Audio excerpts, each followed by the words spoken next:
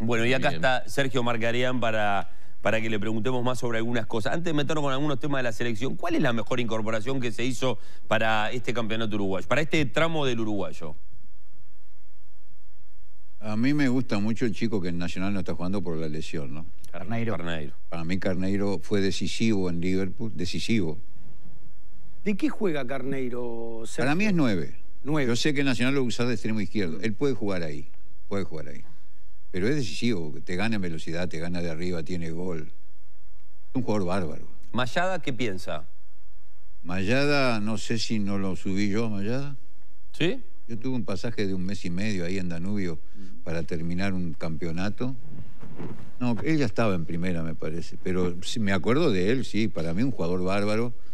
Mayada hizo algo en River, cuando fue a River argentino, eh, que fue hacer el mismo trabajo que después hizo Sánchez. Gallardo usaba en una posición un jugador que le hacía dos, dos puestos. El 8 le hacía el 7. Sánchez en, River hizo el 8 y el 7. Mayada también es capaz de hacer el 8 y el 7. O el, el 4 y el 7. Porque son tipos técnicamente muy buenos y de una capacidad física extraordinaria y con un nivel de, comprensión del juego brutal. Yo no sé cuál es la actualidad de Mayada pero es flor de jugadores. Viene de jugar siete partidos en libertad, tuvo una lesión, pero estaba jugando de lateral izquierdo. Claro, es un jugador que, lo han puesto de todo.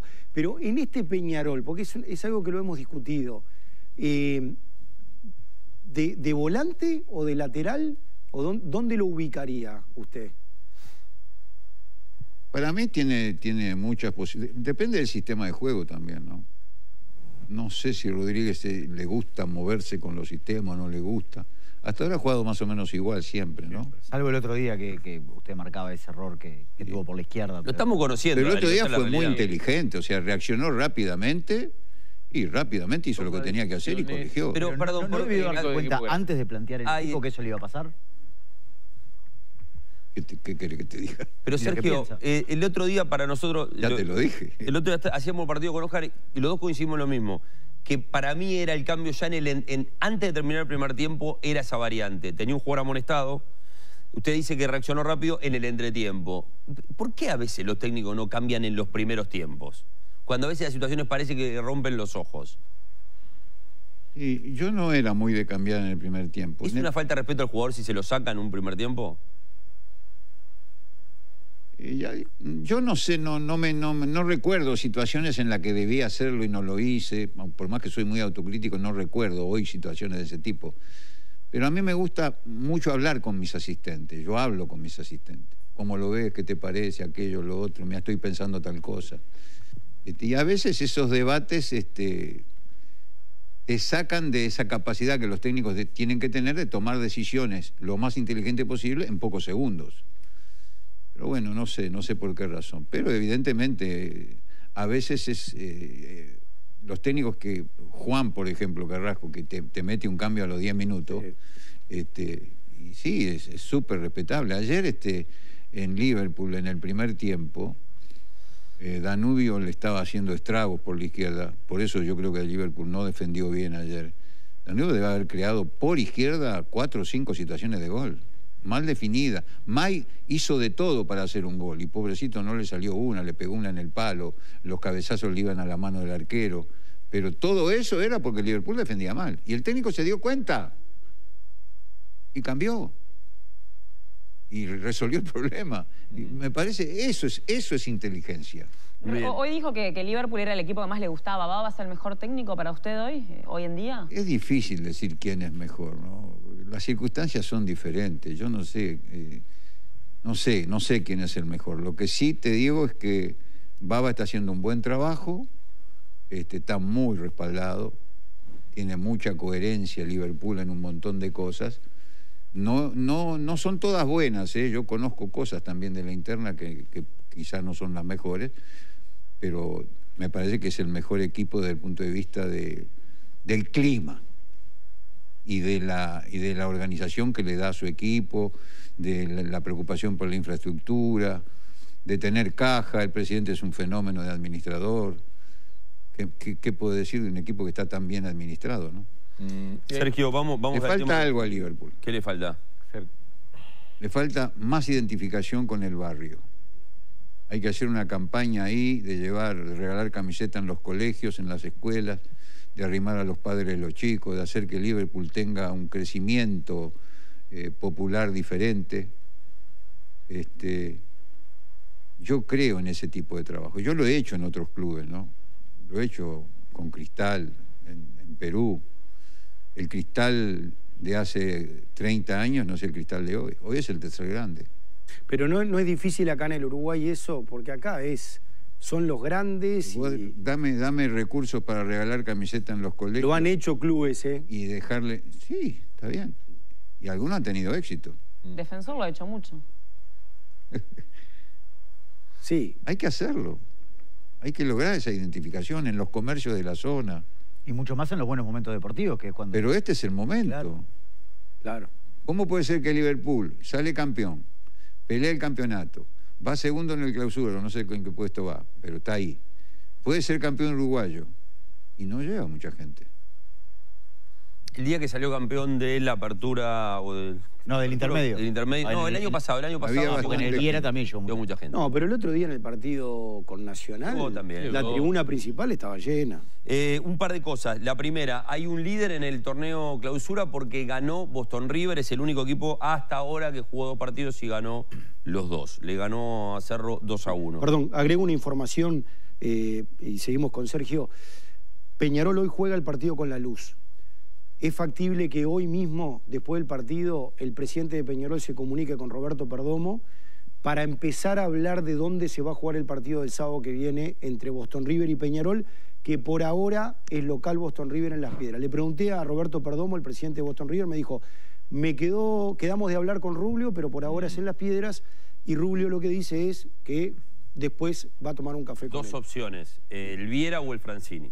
El Francini el sábado no porque juega defensor. Bueno, hay un tema que no- el partido no se puede, Sí. no puede ir al Estadio Centenario. No, para mí las dos opciones son el Parque Viera porque Wanderers juega el viernes y la otra posibilidad es Maldonado. ¿Por qué? Porque el sábado a las 6 de la tarde Defensor juega de local en el Francini. Muy bien, ahí hay un dato también importante. La, la tabla nada más actualizada, la tabla anual nada más, que es lo, que queremos actualizar en base a lo que sucedió recién. Ya le dijimos, Boto River, ese puntero de clausura, van dos fechas nada más. En la anual sube uno, hay uno- unos puntitos Boston River, todavía no está en la zona en la que merecía un equipo que se había armado muy bien, está con 27. Cerro, eh, que bueno, que perdió, sigue en ese octavo lugar con 29. Queríamos preguntarle también a Sergio Margarán, porque es importante su opinión sobre esto que no estén incluidos Suárez y Cavani en, la nómina para el partido del otro viernes. ¿Lo sorprendió? A ver. En alguna medida sí. Pero es, es la decisión del entrenador. O sea, yo calculo que el entrenador debe haber pensado la edad que tienen. El Mundial se juega en el, Tres años. en el 26, ¿no? Van a estar con tal edad. Seguramente este, no van a poder jugar al Mundial. La decisión la tomo ahora o la tomo a la mitad o la tomo en la tercera fecha o en la quinta. Y lo más probable es que en, esa, en, esa, en ese razonamiento haya considerado que el momento era este. Eh, podemos discrepar, pero hay que respetar su decisión. Yo, yo la respeto, obviamente. Es probable que yo, si me tocara a mí, haría otra cosa. ¿Con los dos igual o con uno sí, otro no? No, yo creo que los dos merecen hablar con ellos. ¿La Hablar, pero convocarlos. hablar y plantearles de- frontalmente, mira, pienso esto, esto, esto, esto, esto, ¿te la querés jugar? Si te la querés jugar, te convoco. Y el día que no estés bien, ya no te convoco más. Pero nos ponemos de acuerdo desde hoy, cara a cara, frente a frente, sin miedo.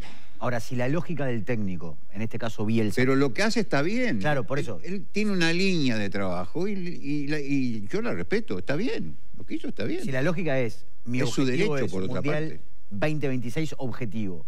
Ya sabe que no van a llegar ninguno de los dos, por un- o, o que muy probablemente... La pregunta que dos. te hago es esta. Sí. ¿Quiénes son, cuántos nueve vas a convocar? Y bueno, Vos- porque el técnico sos vos, recién Sí. me dijiste que eras el técnico. Yo, puedo ser tu asistente. Darwin Núñez, seguro. Un par Uno. mínimo, un par mínimo. Y tiene que citar dos más. Y ahí es donde aparecen las, carec- las carencias. ¿Quiénes? Borbas, Y sí, Borbas. Entonces, yo Arezzo. digo que Suárez y, y Cavani, independientemente de que podamos, yo prefiero a este, yo prefiero al otro, yo prefiero a este, yo prefiero al otro, ¿están entre los tres mejores o no? Sí, Sí. claro. Hoy están entre los tres mejores. indiscutiblemente. Pero no es esta la coyuntura Pero ideal para que... que- aparezcan los que tienen que aparecer. Bueno, ahí está el, el otro tema. Digo porque, apare- porque clasifican 7 de 10. El otro tema. A ver, Uruguay tuvo, es increíble lo que nos pasa, ¿no? Tuvimos un tiempo en que teníamos buenas defensas y malos delanteros. Vino el tiempo en que teníamos buenos delanteros, buena línea de cuatro, pero los del medio. Hoy tenemos los del medio que están bien y resulta que los delanteros empezamos a desgranarnos. Es el problema de ser tres millones y pico. Pero el fútbol uruguayo, el gran potencial, lo tienen los jugadores, no tengan ninguna duda. Van a aparecer cosas. Uruguay va a estar siempre peleando arriba. ¿Por qué? Porque la fortaleza del fútbol uruguayo es la producción de jugadores. Y eso no para. Los equipos que no producen están en el fondo de la tabla.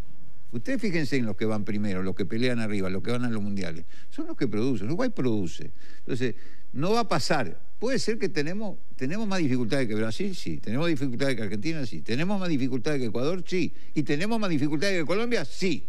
Pero igual, jugamos contra ellos y les podemos ganar. Es mi opinión, no sé, capaz que me equivoco. ¿vos intuís que esta decisión es definitiva o, o queda una puerta abierta para la segunda ventana o tercera Es- ventana? acá viene el otro tema. Qué poco sabemos. Sobre. ¿Ustedes saben si habló con Casual? Nada, tiene razón lo que dice, nada, de nada, de nada. No sabemos la lista de reserva, Sergio. Bueno, eh, con Y este es el otro tema. Hay estilos de comunicación. Yo, a ver, yo, yo lo ap- aplaudo lo que, lo que está haciendo. Está bien, él piensa que, que no comunicar, no exponerse, eh, cumplir con las reglas, las listas salen cuando tienen que salir, no tengo por qué decirlas antes. Per- perfecto. se no tengo por qué dar el equipo hasta una hora antes. Perfecto, está bien. Yo personalmente hice otras cosas. Yo fui transparente. Yo, en, en las elecciones que he dirigido, los periodistas que pedían una entrevista conmigo, yo los. El, el jefe de prensa los ordenaba día por día. Yo tenía una entrevista con un medio de dos horas todos los días. Porque soy hincha de la transparencia. Soy hincha de no, de no mentir con el informe médico. Hay, hay una creencia en el fútbol que si decís que está lesionado le van a venir y le van a pegar. Y si O- le van a venir le van a pegar y lo va a sentir, no lo pongo, no puede jugar. El jugador que está sentido no puede jugar. He discutido esto con muchachos que han jugado al fútbol muy bien, muy bien. Y me han dicho, yo jugué con esta lesión. Y yo le digo, vos no jugaste con esa lesión. Saliste a la cancha, pero no jugaste.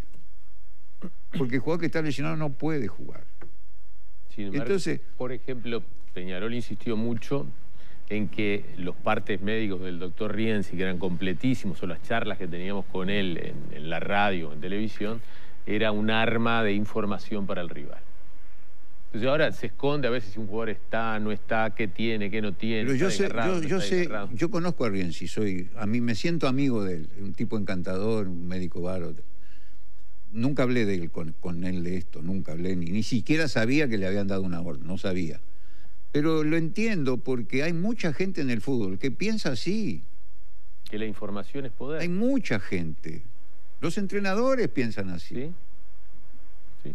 Y yo no, no sé, yo creo que no, que no es así. Yo creo que la transparencia es lo mejor. Hay gente que no quiere que los dirigentes entren al vestuario. Yo no quiero 10 dirigentes en el vestuario, pero el presidente o quien, quien está cerca mío con alguien más, dos personas en el vestuario, que vean lo que pasa. Ser transparente. ¿Qué dije? ¿Qué no dije? ¿Me equivoqué? ¿No me equivoqué? ¿Qué problema hay en decir me equivoqué? Entonces son, son posiciones, son estilos de dirección que tienen que ver con lo que cada uno elige. Vos elegís esto o aquello. ¿No termina siendo contraproducente no contar en, en- en esta, en esta era que vivimos? De Eso es lo que yo creo y por eso fui transparente. Me fue mal. Me fue mal. Terminé peleándome con los tipos a los que le di entrevista de dos horas. ¿Qué querés que haga? Pero hay como un mundo de ocultamiento. De repente no pasa con el City, con el Liverpool, con el Real Madrid o, o con el Barcelona. Pero acá en Sudamérica hay un mundo de misterio. Son prejuicios, Sí. Son prejuicios. Pienso que van a sacar provecho, pienso que... Pienso, eh, es un- Hasta Sergio se está dando algo increíble. Los jugadores se lesionan y es un drama comunicar que ese jugador se desgarró y que está descartado. Siempre está como, eh, como- o sea, eh, porque lo mejor que hay es consultarle a los que saben. Si está desgarrado, bueno. Pero siempre está como el misterio, como... eh, Es como mala palabra la como palabra de mala palabra, es como, no sé. Lo que pasa es que han habido críticas a, a equipos que han tenido una sucesión de lesiones, han habido críticas, y eh, eh, a ver, se quiere evitar eso. Pero lo que hay que hacer en esos casos es tratar de corregir las estrategias de, de entrenamiento y de, no sé, yo qué sé. A mí me parece que hay que admitir que pasó y que me equivoqué. ¿Cuál es el problema? Sí. ¿Cuál es el problema de admitir que uno no es perfecto? Yo declaro, yo soy el peor. A partir de eso empezamos a trabajar. Sergio, ¿Sabe que- Sergio, eh, le quiero hacer una pregunta, porque la verdad yo era de los que pensaba que Uruguay nunca iba a ser campeón del mundo. Yo tenía la sensación que no lo iba a ver campeón del mundo y bueno, aún a nivel juvenil este, lo vi, la verdad que fue impactante, emocionante y, y admirable lo que hizo Marcelo Broli. A nivel de mayores, ¿Uruguay puede ser campeón del mundo? No tengo ninguna duda. Siempre he dicho lo mismo. Yo, además, en el, en el previo al Mundial del, del 2018, yo tuve no menos de seis o siete invitaciones a dar conferencias en distintas instituciones, en las iglesias a las que, a las que yo voy, en alguna institución deportiva, en, grupos de entrenadores y me tuve que preparar mucho para, para, para ser lo más preciso posible y dar una opinión que, que expresara lo que yo siento y pienso. Yo lo que hice fue hacer una estimación de quiénes podían ser campeones del mundo. Entonces dije, bueno, acá, eh, 32 equipos son, ¿no? Mm. Sí. Dije, bueno, a ver, hasta hoy, hasta ahora. 48 ahora en el que 48. viene. los del combo 3 y 4 no pueden ser campeones. Esto, esto lo saco. Esto están de más en el torneo del mundo. ¿tá? De los otros 16, seguramente van a salir los 4 o 5 que pelean por el título y probablemente uno o dos que sean la sorpresa o el equipo que nos gustó a todos. Sucedió en todos los mundiales. Marruecos, el último. En el otro mundial Bélgica y así van las cosas. Eh, entonces me dije, a ver, los candidatos, ¿qué cosa hay que tener para ser campeón del mundo? Hay que tener equipo, hay que tener entrenador, hay que tener eh, historia, hay que tener peso político, hay que tener este, eh, una buena preparación, un montón de cosas. Bueno, a ver, ¿quiénes son los candidatos? Por Europa, tres. Alemania, Francia y España. Esos eran mis tres candidatos europeos. Y por América, tres. Brasil, Argentina y Uruguay. Ahora, comparemos. ¿Cuántas, ¿Qué selecciones tienen? ¿Cuántos jugadores en su posición entre los 10 mejores del mundo? Mi cuenta fue que Uruguay tenía cinco. Muslera, Cáceres, Godín, Suárez seis, Cavani. seis tenía. Valverde.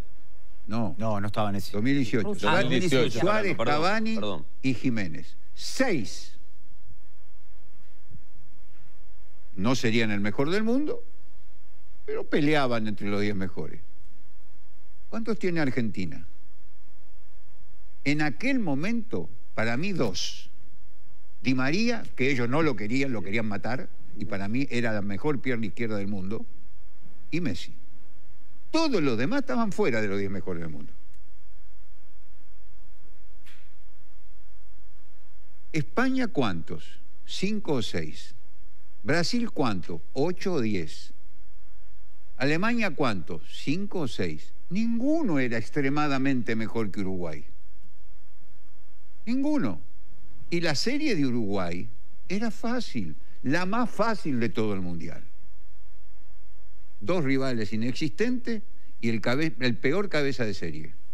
El peor cabeza de serie y el, el del bombo 3 y 4 no existían.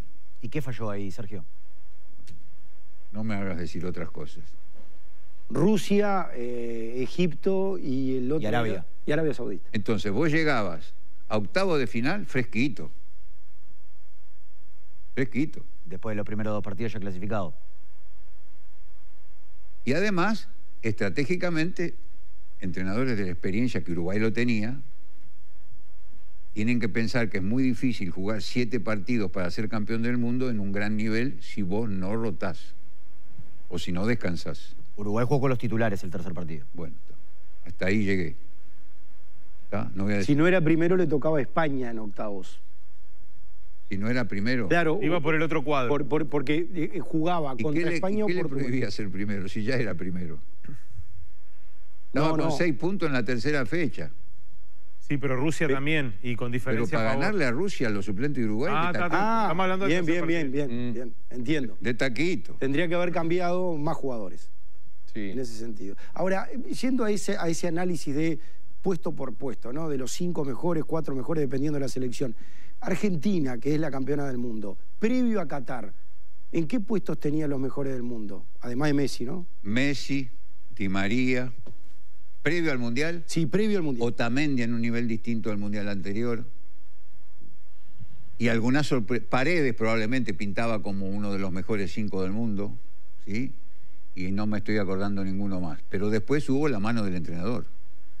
Apareció un arquero increíble, apareció un Enzo volante. Pérez. ¿eh? Enzo Pérez le sacó el puesto a Paredes. Enzo Pérez que le sacó el puesto a Paredes. que Enzo Fernández. No, Enzo Fernández. Enzo Fernández, perdón. Enzo Fernández. Aparecieron otras cosas, apareció Álvarez. Escalón hizo algo sensacional. Hay un jugador que era de su preferencia, que era el centro delantero, eh, que está en Italia, que era su titular, Lautaro. y tuvo que sacarlo y lo sacó. Aplausos. ¿Y qué le pasó? Paredes era su preferido y tuvo que sacarlo y lo sacó. Ninguna experiencia. Yo no estuve nunca de acuerdo con lo que pasó con el nombramiento de Scaloni. Me parece deplorable la forma en que llegó Por al... lo ético. ¿Eh? Por lo ético. Claro, deplorable. Pero demostró que es un fenómeno. Sí, sí, tal cual. La, la- la realidad le terminó dando la razón. Un tema, un tema para traerlo también para, para cosas de selección. ¿Qué tiene que ser el arquero de esta selección? Hoy Rochet, ¿no? Aunque no, capaz que con el pie no, no llega al nivel de otros. Con el pie. Claro, al jugar con el pie. Es un equipo, me, me da la sensación que el equipo que, propone Bielsa es involucrar también al arquero en ese aspecto, con toques atrás. Está bien. Usted quiere el arquero para atajar. Y a mí, a ver, yo conozco, conozco poco a Mele. ¿Mele está en la lista? Sí. Sí. Sí. Lo conozco poco. Lo poco que lo conozco, la sensación que me da es que sabe todo. Ah, mira. O sea, el más completo. Sabe todo. Pero no lo he visto atajar. Pero lo poco que lo he visto, po, digo, este tipo debe, debe ser un fenómeno. Hace todo bien. Tiene una tranquilidad. Siempre está bien ubicado, con el pie lo, lo justito. No sé lo que puede pasar de futuro, Mm.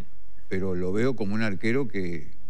Y, Y- no descarto que cuando pase la suspensión, el que está en Turquía pelee el puesto, ¿no? ¿Quién Durante la años, noticia? ¿Uno de ustedes dos había Sí, sí, noticia? Muslera está en los planes, tiene cuatro partidos de esos. Para mí Muslera pelea, sí, pelea, sí. Pero hoy es Rochet. Sí, sí. Durante muchos años, Sergio, Uruguay tuvo problemas con el lateral izquierdo, o sea, se improvisó. No, hoy hay toneladas de laterales izquierdos. Bien, Pa. pero por derecha, Toneladas, ¿eh? sí, pero por derecha no, no hay mucho, ¿eh? ¿Quién va a jugar de lateral derecho? Y bueno, eh, si, si trabajáramos, tendríamos. A mí me parece que el lateral de defensor es un fenómeno. Juan, Pintado. Juan- Pintado. ahí está. A mí me parece que es un fenómeno. Así Me no. parece que Martirena es un jugador bárbaro. Y si le digo que Nández va a jugar por la derecha contra Me Chile. parece bien, es un jugador bárbaro. Ya, tenemos tres, ¿querés más? No, no, bueno, pero ni Martirena ni Pintado creo yo Y que bueno, pero están. ¿qué te dije antes? Claro. Yo creo en el microciclo con los jugadores del medio. Creo en la necesidad de que el técnico trabaje con los jugadores del medio y que estén preparados para tomar un lugar. Pero yo lo he hecho. No, no es que estoy hablando de algo que deberían. Ustedes ven mis trabajos de selección, los equipos se arman, se arman todos con microciclo. La selección paraguaya, que clasificó a cuatro mundiales, se armó a partir de entrenamientos entre semana con jugadores del medio. O sea, los Gamarra, los Ayala, los Cardoso, surgieron todos de entrenamientos dentro del medio. Y este sistema de El- en Perú, en Perú. Bielsa, En Perú, los Advíncula, los Yotun, los, los, los, este, los que están jugando, los Prueba. todos esos salieron de entrenamientos de tres veces por semana. Le preguntaba si el Pasaron, sistema de... ojo, pasaron cuántos años. Me fui en el 2013. Nos estamos a 10 años. ¿Diez años? 10 años. Hoy siguen siendo titulares. Sí, sí. Zambrano también. Siguen siendo titulares. Zambrano, Vargas, Pizarro, Guerrero y Forfán eran los únicos cinco jugadores peruanos en el exterior. Cinco. Hoy hay 20. Mm. Eh, Sergio, yo le preguntaba del tema, el, el sistema de tener una suerte de, de equipos volantes de sparring para trabajar en la selección. Usted no lo asemeja a microciclos. Contra Chile juegan esto que están No, no, no, no, por eso le digo. Yo digo trabajar con lo que van a jugar. También hay, hay una, una vieja concepción que dice, no, acá en el fútbol uruguayo no hay, no hay jugadores que estén en, en un nivel para estar en el equipo titular de, de la selección. Usted nombró algunos ahí, puntuales. Si Carneiro estuviera sano, pelea un lugar. Pregunto, ¿Quién es el mejor jugador los que del van a citar, los que van a citar, ¿son mucho mejor que Abel? Como centrodelanteros, yo creo que salvo Darwin Núñez no hay ninguno comprobado. Igual no lo vamos a tener porque está desgarrado igual. No, pero Por lo menos para estos dos. es lo que te hago entender, que hay que pensar. Hay cosas. ¿Hay algún zaguero en la selección mejor que Pereira?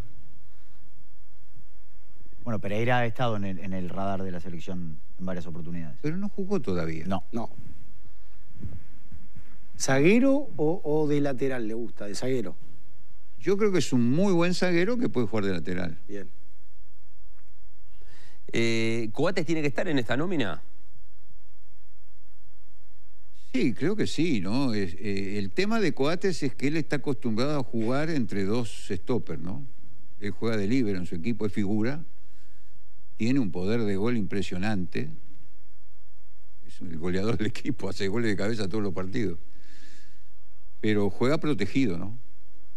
Eh, Jugando en línea de cuatro tiene, tiene, me parece que tiene más dificultades, pero seguramente será titular, ¿no? No sé, la verdad que no tengo información. ¿eh? Le, pregunto algo como aficionado del fútbol y como entrenador además. La, la Asociación de Fútbol hizo público hace unos días el, el listado de precios. Son altos en relación a lo que habitualmente se paga en el fútbol uruguayo.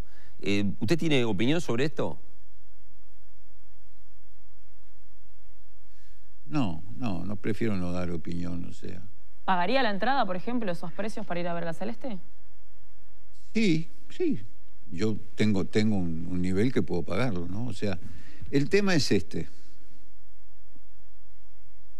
Ayer yo recordaba en, en un programa que estuve palabras del pato que recuerda cosas que yo le he dicho cuando, cuando lo dirigí. Y yo les decía que si jugamos, un partido que hay un solo hincha que pagó la entrada, uno solo, uno, por ese me tengo que matar.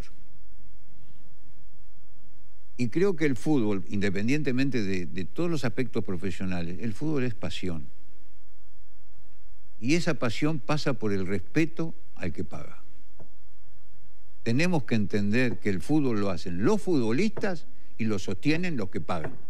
Pero no solo los que pagan la entrada, los que pagan probablemente entre 5 y 10 dólares para ver fútbol en su casa.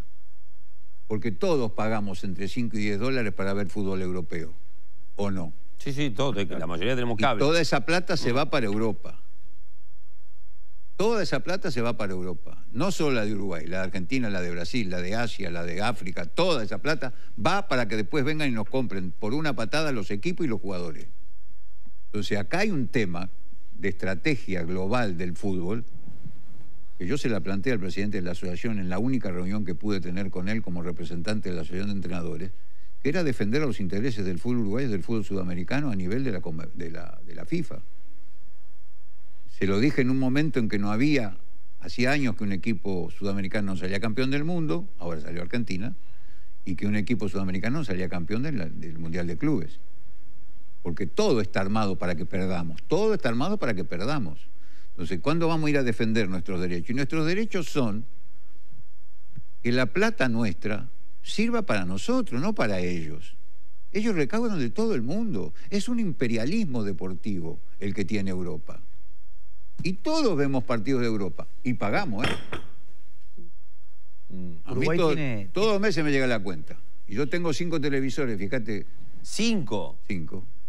Pero ¿dónde los tiene los En cinco? el baño tengo uno. No. Espectacular esto que me explica, ¿por qué no? Pero hay mucha gente que va con el celular al Sí, baño. obvio, Usted no claro. tiene que ir con el celular al baño, tiene fútbol. No. No, pero cuente, A ver, tengo cinco un escritorio donde Sí, trabajo, tengo un televisor. Tengo un living donde las visitas ven. Lo lógico. Otro. En la cocina cuando almorzamos me gusta ver los noticieros. Van tres. Bien, Tres. Eh, en mi dormitorio también hay uno. está bien. Y en el dormitorio que a veces usan mis hijos también hay uno. Está bien. Son cinco. Y los cinco con canalera y... Los to- cinco to- con, todos todo- los con servicios todos los son chicos. Está perfecto. ¿Uruguay tiene peso político?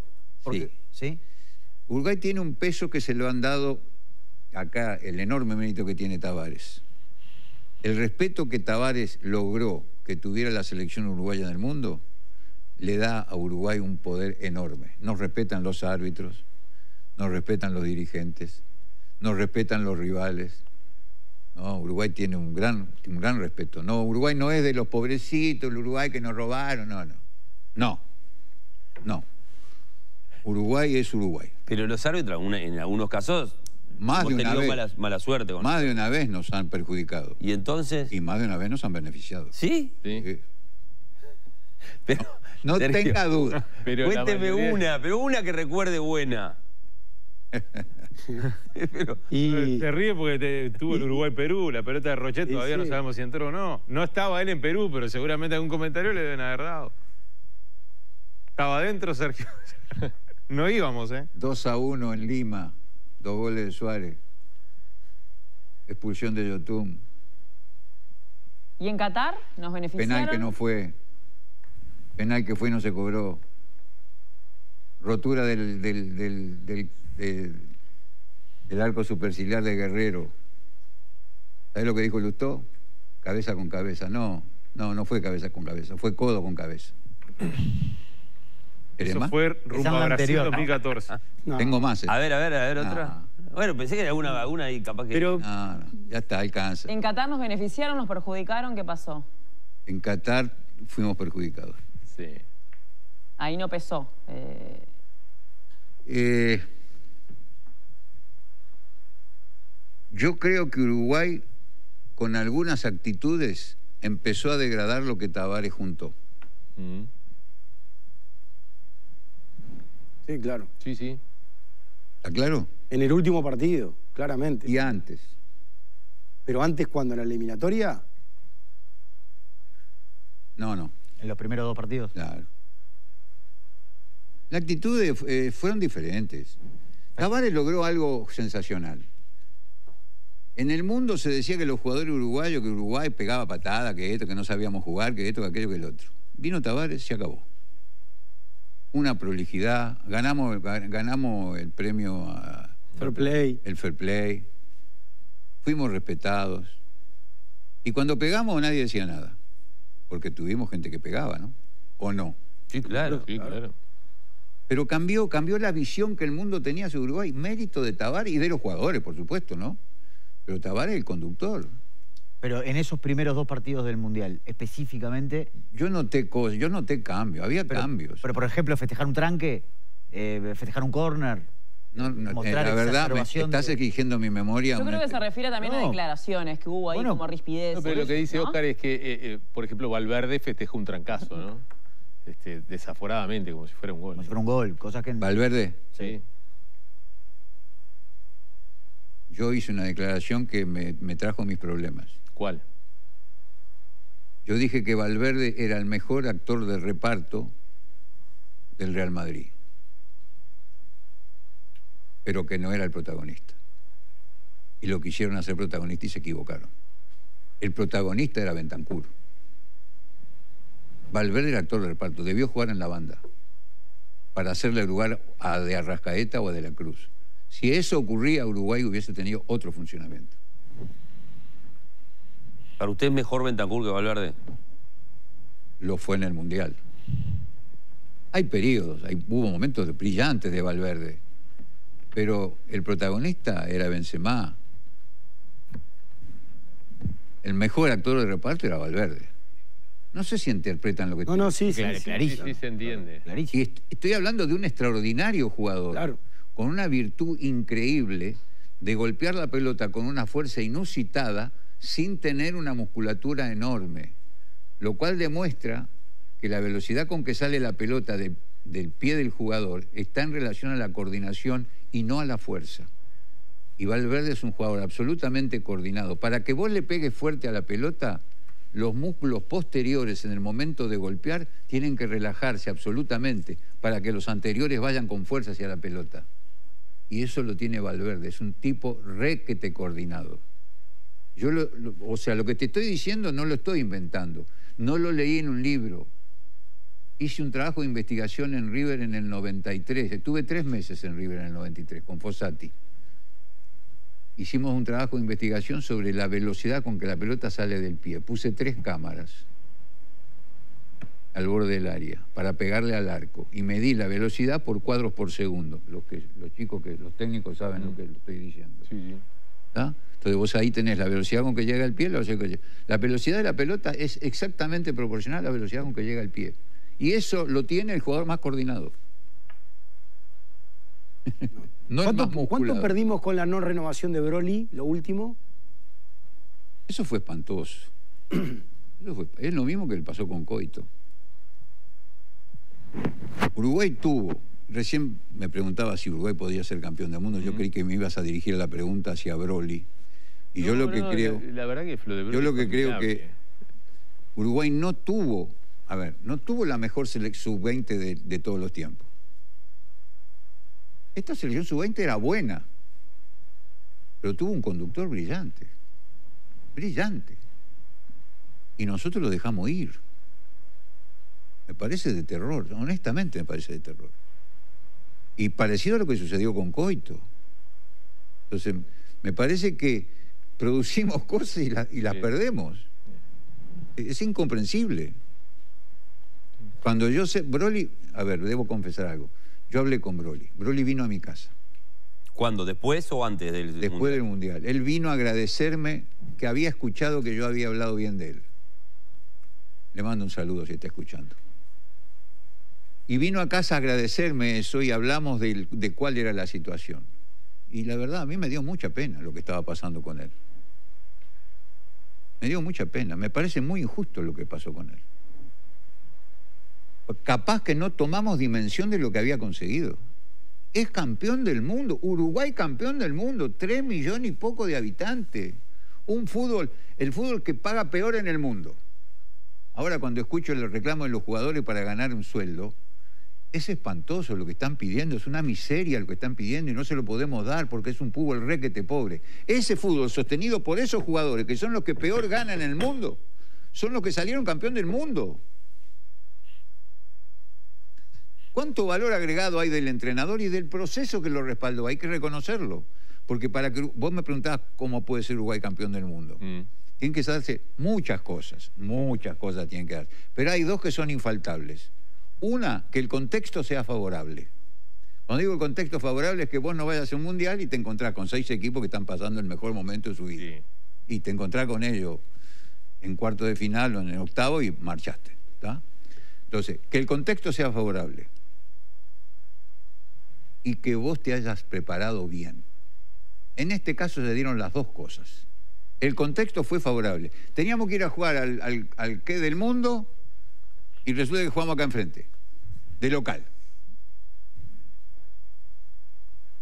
Eh, en la Copa América pudimos ser campeones, lo perdimos para mí por alguna cosita que no quiero hablar, y después resulta que venimos y Brasil, que salió campeón del mundo, un desastre, y nosotros, bien ahí el técnico, corrigiendo cosas, sacó, hizo de tripa corazón el técnico. Hubo un partido que tenía entre lesionado y suspendido, no podía sí, armar el equipo. banco, sí. hizo un movimiento táctico, pasó a hablar de trabajar con dos en el medio a trabajar con tres, eh, armó mejor la cosa y sostuvo algo, a pesar de todas las dificultades, le dio el carácter para hacer presión alta, para hacer presión arriba, Presión en toda la cancha, le llamo yo. Ahora los chicos nuevos dicen presión alta.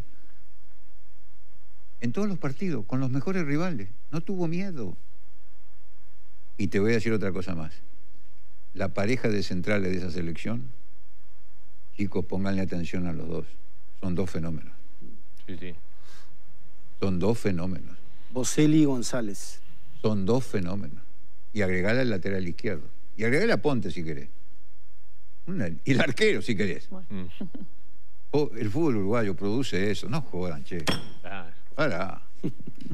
Bueno, un placer, Sergio, que nos haya acompañado. Vamos Lo- que está por llegar la comida. Llega la comida Me estoy preocupando de ver eso. Va a poder llegar con lentes a recibir a los invitados. Upa. Son un lujo, Sergio. Los amigos de Óptica Brioso le obsequian ese par de lentes. Tengo que mostrarlo, ¿no? Un cambiazo, a ver cómo le quedan. Hasta habría que probárselos. Si usted se los prueba, a mí me regalan unos. La verdad que no les cobro nada, pero por ponerme esto debería cobrarlo.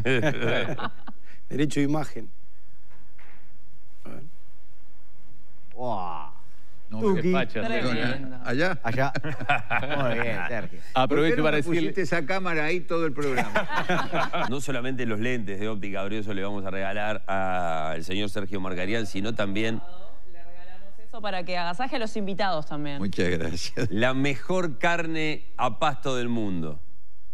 ¿La conocías, Sergio? Viste que eh, eh, he, senti- he escuchado. Es tremendo, es Este.